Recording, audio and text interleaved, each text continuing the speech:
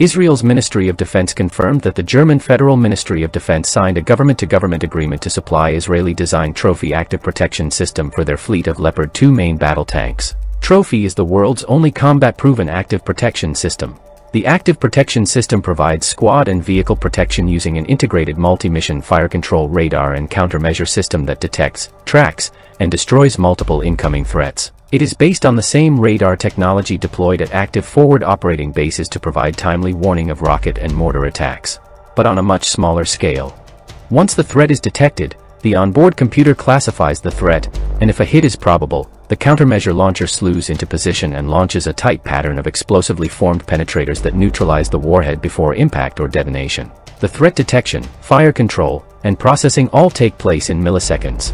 The same sensors that track incoming shots at the vehicle also paint a target on the shooter, allowing an immediate response from the crew. They can return fire, maneuver out of contact, or call for fire support. At the same time, Trophy automatically transmits the engagement data to the battle management network, giving friendly forces immediate enemy information.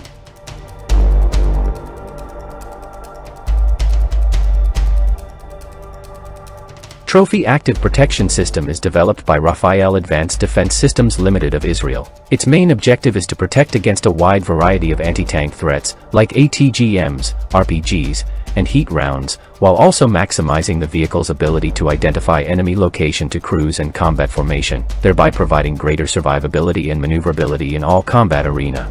On the illustration model of the Leopard 2 tank released by the company the trophy configuration on the tank looks different from those configured on the Israeli Merkava Mark IV and the M1A2 SEPV2. The system allocates two ELM-2133 Wind Guard radars placed in armored boxes covering the front arc, while the interceptors, magazines, and radars placed in an integrated assembly on the turret sides, covering the rear sector left and right. Another change is the blast deflector using transparent armor, improving the situational awareness for the commander and loader. Further there are two smoke screen launchers on each side of the system along with four attach on turret sides, these launchers shoot in an upward direction to counter top attacking missiles.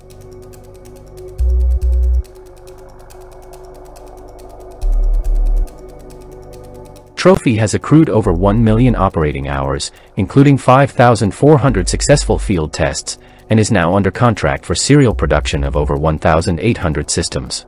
Being the world's first and only fully integrated, combat-proven APS, it has been installed on Israel Defense Forces Merkava tanks since 2010, as well as on the Namer heavy APCs. It has made numerous combat interceptions with no injuries to crews or dismounted troops or damage to platforms since its first operational interception in 2011.